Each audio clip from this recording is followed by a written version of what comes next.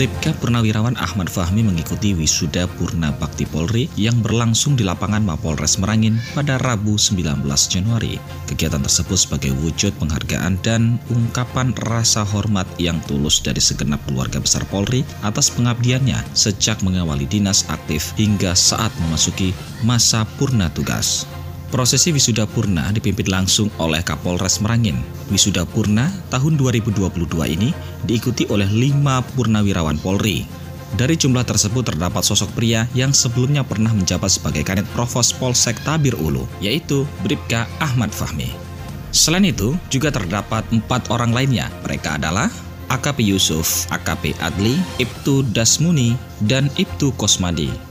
Selain pernah bertugas menjadi Kadit Provos, Ahmad Fahmi juga hingga kini masih dipercaya menjadi pimpinan tertinggi di Koperasi Perkasa Nalotantan Merangin Jambi.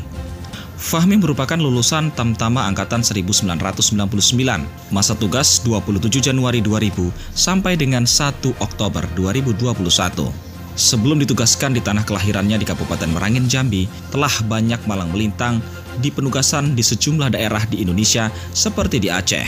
Ia memilih pensiun dini dari Polri demi tugas mulia memperjuangkan nasib petani melalui Koperasi Perkasa Nalotantan yang telah ia rintis sejak tahun 2017 lalu.